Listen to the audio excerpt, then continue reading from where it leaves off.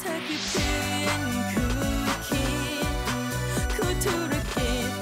คนไทย ช่วยคิดและช่วยมอบแรงใจ ให้ทุกทุกก้าวไม่มีท้อเพื่อนคู่คิดปัจจุบันคนเราเริ่มหันมาดูแลสุขภาพกันมากขึ้นทำให้ผลิตภัณฑ์เพื่อสุขภาพได้รับความนิยมมากขึ้นเรื่อยๆ อย่างสมุนไพรและผลไม้ต่างๆ ไม่เว้นแม้แต่ผลไม้พื้นเมืองของชาวล้านนาอย่างมะเกียงค่ะ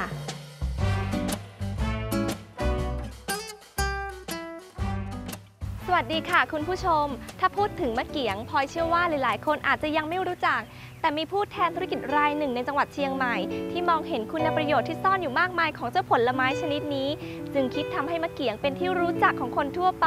ในรูปแบบของน้ำผลไม้พร้อมดื่มค่ะ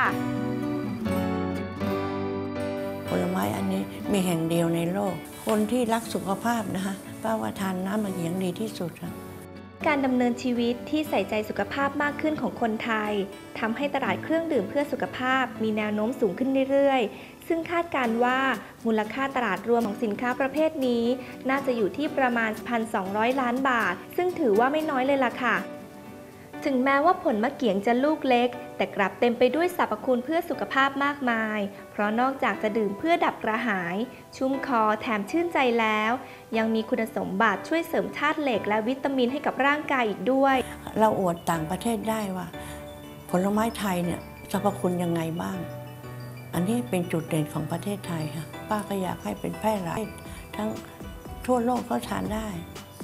ความตั้งใจและมุ่งหวังให้ผลิตภัณฑ์ที่ทำจากผลไม้พื้นเมืองของภาคเหนือเป็นที่นิยม ไม่ใช่ด้วยความรู้สึกอื่นใด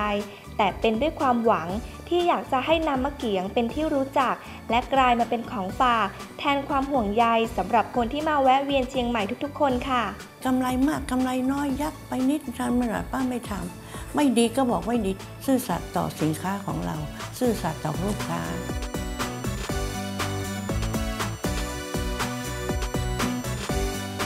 ห็นคุณค่าในสิ่งหนึ่ง และลงมือค้นคว้าและพัฒนาอย่างจริงจัง ก็สามารถต่อยอดเป็นธุรกิจได้นะคะ คุณผู้ชมคะบนโลกธุรกิจยังมีพื้นที่ว่างสำหรับความคิดดีๆเสมอ ไม่แน่นะคะ ผู้แทนธุรกิจคนต่อไปอาจจะเป็นคุณก็ได้ค่ะ อยากได้ข้อมูลเพิ่มเติม คลิกมาได้เลยที่ www.bangkokbank.com เพื่อนคู่คิดสำหรับวันนี้พลอยลาไปก่อนแล้ว สวัสดีค่ะ